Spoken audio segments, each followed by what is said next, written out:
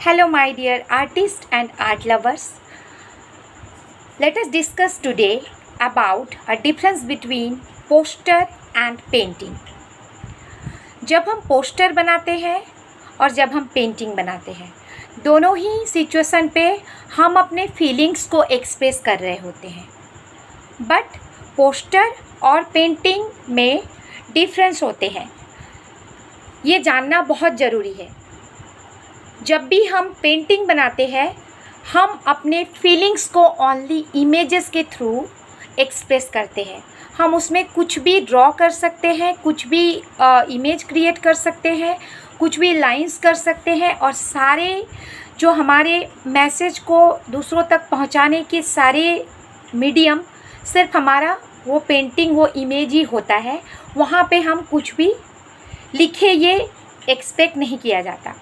But whenever we are creating a poster specially student life में जब हम poster making competition में participate करते हो तो एक ट्रेडिशनल क्राइटेरिया होता है कि हमें पोस्टर इसी तरह से बनाना है। तो उसके अकॉर्डिंग पोस्टर में हम अपने मैसेजेस को एक्सप्रेस करने के लिए इमेज के साथ साथ अपनी पेंटिंग ड्राइंग और पिक्चर्स के साथ साथ रिटर्न मैसेजेस भी उसमें डालते हैं। सपोज़ अगर हमें पोलियो ड्रॉप्स पे एक पोस्टर बनाना है तो हम अपने कोई भी स्लोगन उसमें पोलियो मुक्त भारत के लिए बनाए, लिखेंगे या फिर कुछ भी उससे रिलेटेड हमें जो है टीकाकरण से रिलेटेड कोई सूचना देनी हो। अगर हम कोविड वैक्सीन पे पोस्टर बनाते हैं तो कोविड वैक्सीन को लेने के फ़ायदे, नुकसान और उसके क्या हो सकता है, लेना क्यों ज़रूरी है, ये सारे मैसेजेस को रिटर्न रूप में उसमें दे, ये एक्सपेक्ट करता है एक पोस्टर।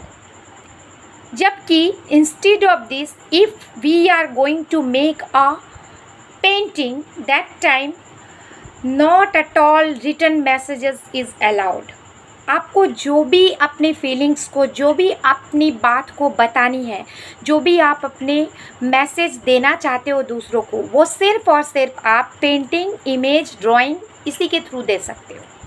तो ये मेन जो है डिफरेंस होता है पोस्टर और पेंटिंग का। अब हम बात करते हैं थोड़े से uses of painting and poster का तो भी थोड़ा सा ये टॉपिक ज़्यादा क्लियर हो जाएगा।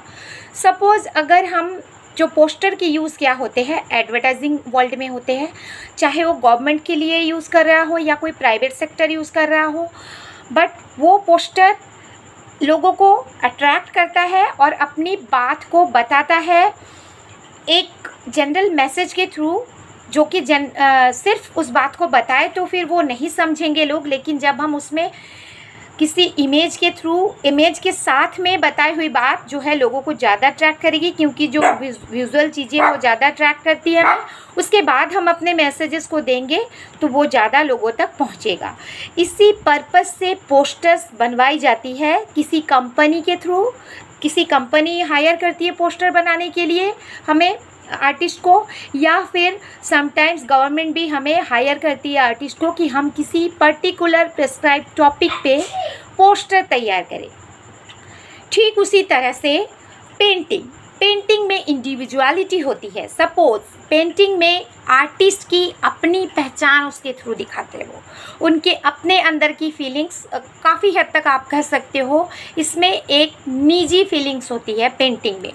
जो आप सोच रहे हो, आपको कोई क्लाइंट पेंटिंग बनाने के लिए एक पर्टिकुलर टॉपिक दे सकता है, लेकिन उस टॉपिक पे आप क्या सोच रहे हो, उसको आपको फीलिंग्स को एक्सप्रेस करना है तो सिर्फ़ इमेजेस के थ्रू लेकिन इसको भी जो है, कई बार हम अपने मैसेज को अच्छे से लोगों तक पहुँचे, इसलिए सिर्फ़ इमेजेस के थ्रू भी हम बहुत से मैसेज सोसाइटी को उनके प्रोग्रेस के लिए उनकी बेहतरी के लिए आर्टिस्ट देते हैं। जैसे अगर हम सेव गर्ल चाइल्ड पे कुछ अट्रैक्टिव पेंटिंग बनाते हैं जिसमें हम बिना एक वर्ड यूज़ किए भी दिखा सकते हैं कि गर्ल्स को एजुकेशन कितना इंपॉर्टेंट है या गर्ल्स को सेव uh, करना लाइफ में कितना इंपॉर्टेंट है।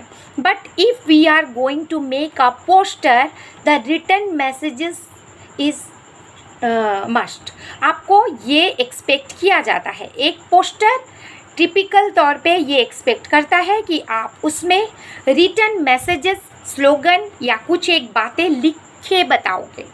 और आपके रिटर्न मैसेजेस और इमेजेस ऐसे मिक्स हो जाए, ऐसे मर्ज हो जाए और इतने अट्रैक्टिव लगे, वो भी एक्सपेक्ट की जाती। तो whenever you are going to make a poster first of all don't forget कि आप एक आर्टिस्ट हो तो आपकी पहली ड्यूटी है ओबियसली उसमें जो भी आप पेंटिंग या जो भी आप इमेज बनाएँगे it's should be attractive but mind में ज़रूर रखना, इसके ऊपर हमें कुछ बातें लिखनी भी है।